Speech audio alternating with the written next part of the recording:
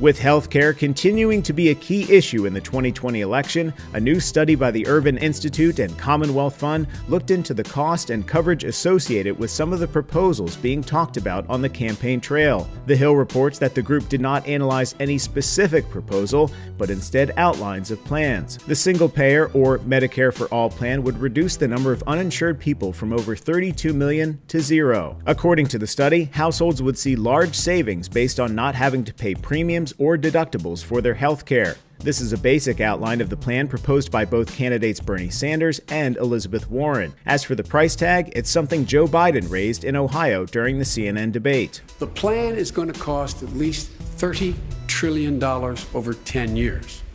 That is more on a yearly basis than the entire federal budget. The Urban Institute Commonwealth's fund number nearly matched, with the group finding it would cost roughly $32 trillion over 10 years. When the study looked at the outline of plans similar to those proposed by Biden and Pete Buttigieg, it came up with a figure of $1.3 trillion over 10 years. The number of uninsured would drop from 32.2 million to 6.6 million people, which, according to the study, would be the number of people in the U.S. illegally.